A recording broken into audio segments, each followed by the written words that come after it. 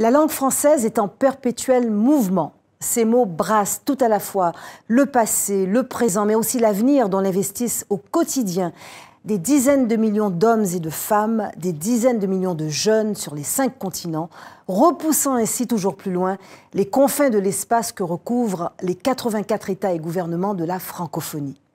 Et puis, la langue française retrace la géographie du monde en créant des liens choisis entre des peuples des déserts et des rizières, des îles et des continents, des forêts boréales et tropicales, des plaines et des montagnes, des peuples qui, sans elles, ne se seraient peut-être jamais rencontrés et qui, ensemble, peuvent témoigner de l'état de la planète.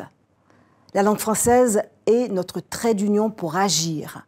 Agir sans complexe, en investissant en français avec toujours plus d'audace et de fierté tous les champs de l'activité humaine, la gouvernance démocratique, l'éducation de base, la formation professionnelle et technique, l'enseignement supérieur et la recherche, les industries culturelles, les médias, l'économie et l'entrepreneuriat, le numérique et l'innovation technologique, le développement durable.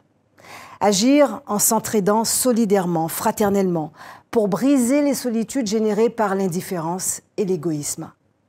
Agir en dialoguant avec tous les partenaires, les États et gouvernements, le secteur privé, les organisations internationales, les institutions financières, les agences de développement, les acteurs de la société civile, les organisations non gouvernementales, pour mieux construire ensemble, au plus près de la diversité des réalités du terrain et des attentes exprimées.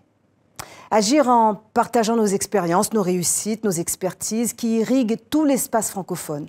Nous avons encore tant à apprendre les uns des autres. Agir en parlant d'une voix forte pour dénoncer les dérives de la mondialisation, la violation des droits et des libertés, particulièrement des femmes, les appels à la haine et au rejet de l'autre, l'obscurantisme et la terreur.